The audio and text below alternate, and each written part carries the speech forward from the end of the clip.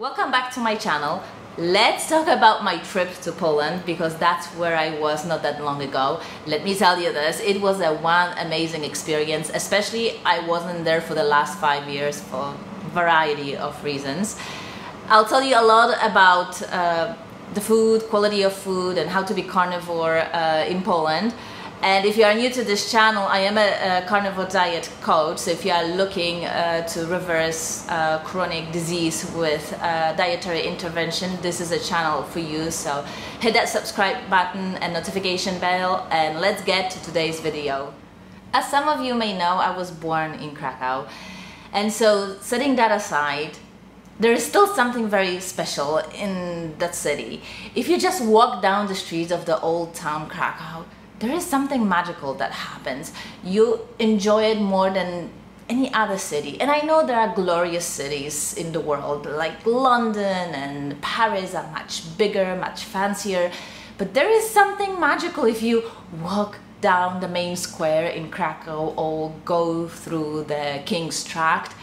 It's almost like you are going back in time and almost feel the energy of people that were walking those streets back then in 11 12 13 14 15th century. It is a one amazing experience and so if you are uh, somewhere in eastern europe be sure to visit krakow. And this is mariacki cathedral. I think it was built over centuries and I think they started it sometime in the 13th century.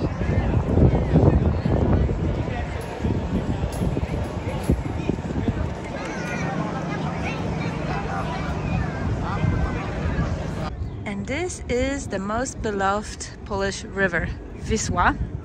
Oh, in English I think it is Vistula. So this is underneath the Krakow Castle, Wawel.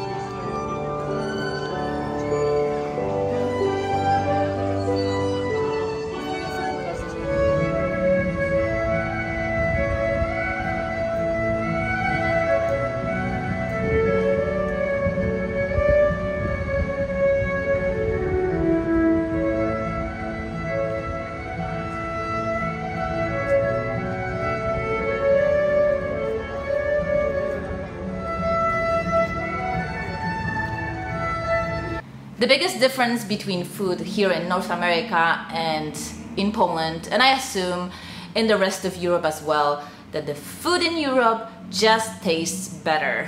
And that because there are many reasons, but one of the main reasons is that they just don't allow as many preservatives uh, and additives as there are allowed here in North America.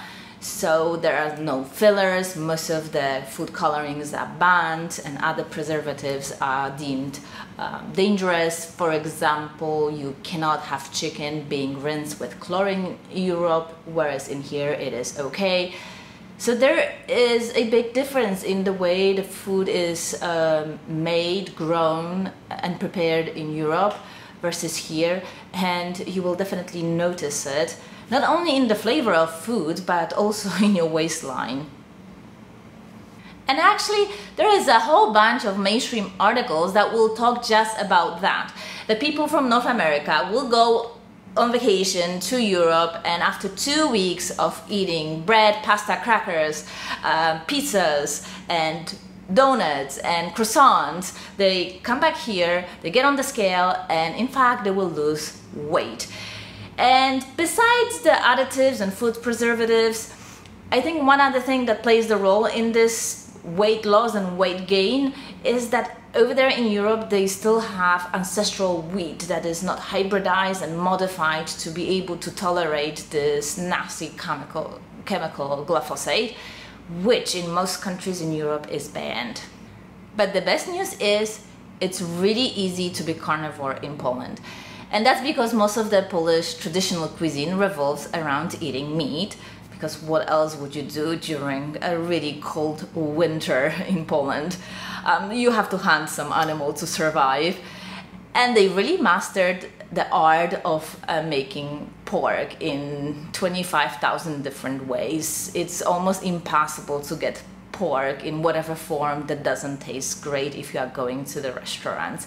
Now, when it comes to beef, they're more used to making it into stews or uh, escalopes or make it in the sauces.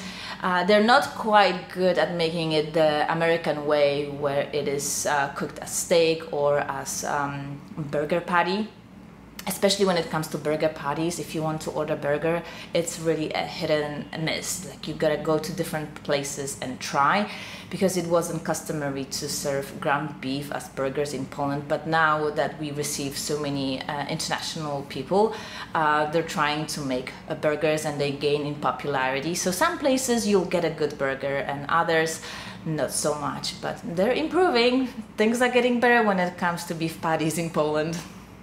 So my day would typically start at home and I would be preparing breakfast and almost always there would be eggs in one way or another and it's really easy to get good quality eggs in the Polish supermarkets as well or you can go to the family owned uh, stores or even to the uh, street markets and get uh, eggs straight from the farm. It's really easy to get good quality cold cuts in Poland and also breakfast sausages. Um, you can buy a conventional sausage and it doesn't have about 80% of the stuff that is added to the sausages here. Like here you really have to be strategic where you buy your sausage, uh, is it organic? And like for example, to get a good quality hot dogs for my kids, I only have to buy them from ButcherBox. Whereas you can go to a regular supermarket in uh, in Poland and there is a section for children with uh, organic clean uh, meats just for children so the hot dogs are made uh, purely out of beef uh, and pork ham it's quite amazing. Another thing that you will notice about cold cuts in uh, Poland is that their um, time frame uh, in which they can be consumed uh, is really short because they don't add those preservatives. So if we didn't eat um, ham or sausage within a couple of days, um, my mom would just throw it out. For lunches, we were typically going to a restaurant, and again, it's very easy to order good quality food. I was mostly going for uh, pork, either pork cutlets, uh, pork escalopes, or ribs. I got the full rack of ribs one day, and I ate it all, and it was absolutely delicious. When it comes to your side dishes, it will be usually some form of fermented cabbage um, or some type of other salad that comes from cooked vegetables because those uneducated traditional people somehow knew about lectins and that you had to do something to the vegetable to make it more edible. The starch of choice is uh, potato. You will almost get it. It could be cooked differently. The one that you are watching here in the picture, it is cooked potato, then mashed and then uh, spiced with pepper and salt and with some eggs and then just rolled into the bowls and then cooked in a fat. Um, but there's many different ways and that's another thing that uh, I was thinking about uh, even in the countries that there's a lot of starch consumption, if it's not wheat, people don't get this fat. Another country that is eating tons and tons of carbohydrates is Japan, but because it's rice and it doesn't have gluten in it, like here in the United States, we mostly eat wheat as the starch of choice. Um, that's another reason why Americans are a lot more overweight than their counterparts elsewhere in the world. So it's really easy to eat out and healthy in Poland. If you're on the carnivore diet, eat the meat. If you want to make sure it is always uh, tasting delicious, go for pork. You are taking a little bit of a gamble if you're trying to get good quality beef patties. You may have more luck with the steak And then if you're on the low carb, ketogenic, then you can eat your fermented cabbage with your meat.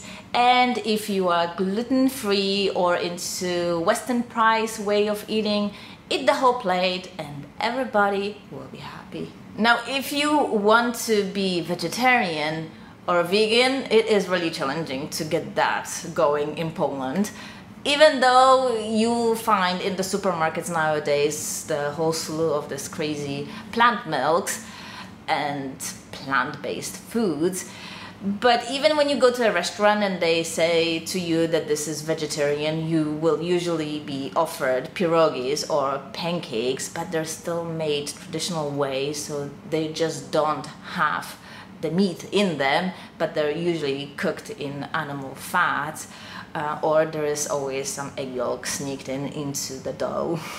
Most dinners we were eating at home or at our friends, and again, plenty of meat to choose from. Uh, either my mom was cooking, or my friends were cooking, or we were cooking. And again, beef is plentiful, but they really know how to make pork and we were eating it in all kind of ways. Oh, and Poland has its own version of cheesecake.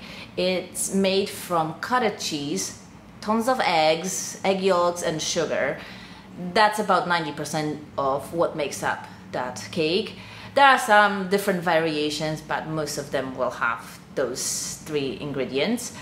And I had some of that. I normally don't eat dairy. For those of you that don't know me, uh, I had suffered from rheumatoid arthritis and I reversed it with a carnivore diet but without dairy. And generally I stay away from dairy, but in Poland I made an exception and I had that cake and I was convinced that the next day there will be problems. I was ready with my zeolite spray, but nothing happened. And then I had another piece of cheesecake a day after and again, nothing happened. And I was eating that cheesecake pretty much throughout my whole vacation, and nothing happened to my joints. So I don't know if it's a quality of dairy is better there in Poland, or is it that my gut permeability got uh, restored to the point that I can handle dairy now? I wouldn't be able to tell because I'm too scared to eat dairy in New York. I'll have every now and then a tablespoon or two of kefir that I make myself from a raw A2 milk, but that's about it. I have a friend here in New York that has colitis and can't eat anything with gluten here in New York. But when he goes back to Europe, specifically to Switzerland, he's okay eating pasta over there and has no uh, upset in his bowels. And so I was thinking maybe I should try uh, anything that has wheat uh, over there in Poland, but I was tempted, but I didn't really want to go completely off my uh, carnivore diet. And um, so I didn't find out. So I can't report back whether uh, wheat uh, was okay for me there uh, and is not good here because I just didn't have it. Another thing worth mentioning, people there really move along with the season, so they will eat fruit and a lot of it, but as it comes in season. So when we were there, uh, fresh strawberries was the thing. There were strawberries everywhere. Literally on the side of the road, you could get a uh, basket of strawberries. And in the supermarkets, there were some strawberries imported from Tunisia and from Spain, but nobody would touch them. So this sums up my uh, trip to Poland. It was a really amazing and a restorative uh, experience for me. It was so great to connect with my family and friends. My sons really loved it. For both of them, it was their first time in Poland. Uh, my husband been there a few times before, but uh, he never seen it during summer, and he really loved it as well. In fact, we were talking how to organize our life so that we could spend portion of the year over there in Krakow. That would have been amazing. Anyway, if you haven't yet subscribed, hit that notification bell. And it is really easy to be carnivore in Poland. I will see you in my next video. Bye.